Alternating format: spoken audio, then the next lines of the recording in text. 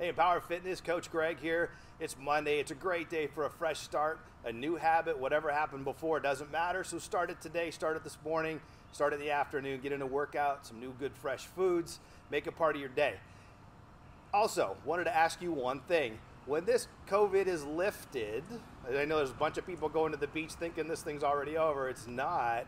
But when this is lifted entirely and the government says you can go anywhere you want and do whatever you please, big question what is the first thing you will do? What's something you haven't done in a while that you're like, I cannot wait to get back to this? I want to go do this. What's it going to be? Just going to be some fun answers. Have fun with the, the sharing. I want to see what you guys would do. What's the first thing you're going to do when they say you can go anywhere you want? I'm going to Disneyland. So see what you guys are going to do. Can't wait to hear, share. Uh, have an awesome day.